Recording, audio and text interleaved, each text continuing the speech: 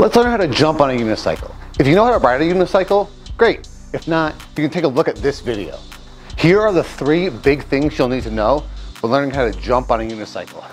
But first, let's talk about jumping in general. To jump normally, you essentially push down into the floor and accelerate your body up. The lower you preload, the more time you have to accelerate, the faster you're moving when your feet leave contact with the ground, which translates to a higher jump. Also, it's shown that arm swing increases your vertical by 28%. This makes intuitive sense, since if you ever try to jump without using your arms, you feel sluggish and heavy. Jumping with a unicycle is very similar to jumping without one, with a few small exceptions. Which brings us to our first tip.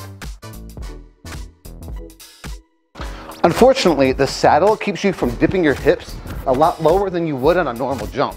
And as we said before, leg range of motion relates to a higher jump. Therefore, you're really gonna have to rely on shortened ankle and hip power to get you airborne. You can open your legs to bring the saddle out in front of you. This gives you more range of motion and makes for jumping more efficient. However, it's much less stable. When the saddle is in between your legs, it's harder for the, the cycle to tilt left and right. But when the saddle is out in front, it's free to tilt without barriers. It's much easier to learn how to jump with the seat under you, not in front of you. The, when the saddle's out in front of you, it's easier to jump high, but it's harder to stay balanced. Pick your poison. The second tip is without anything attaching you to the cycle, you're just gonna jump straight off. You're gonna quickly need to jump and then bring the unicycle with you. The easiest way to do this is hold the front part of the unicycle while you jump. You're essentially going to jump and then right as you're about to leave the unicycle, pull it up with you to carry it along for the ride.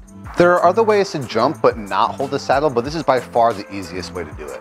Lastly, because one arm is holding the unicycle, you don't have both hands available to swing and aid in your jump. So one will have to do unless you have jacked thighs and can clench the seat with them. Counts. This counts.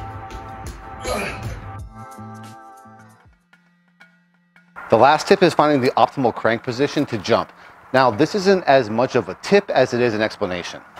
If you've practiced jumping a few times, you'll notice that it's easiest to jump when the crank is horizontal and parallel with the floor. If you thought that, then you're right. When your crank is vertical, the second your extended leg finishes pushing down into the pedal, the crank is free to move wherever it wants. Your leg can't help you jump if the force is going towards pushing the pedal down not pushing you up. You're essentially limited by every crank position that deviates from completely horizontal. Now, if you're planning out your jump, you can always measure from where you're going to be taking off from and roll the unicycle back to where you're starting your run up. Then you know roughly where you need to start and what crank position to start at.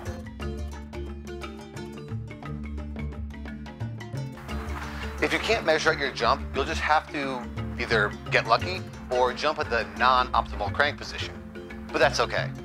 Those are essentially the three big takeaways for jumping on a unicycle. Really exaggerate hip movement, pull the saddle handle with you as you're leaving the ground, and try your best to jump with the crank horizontal.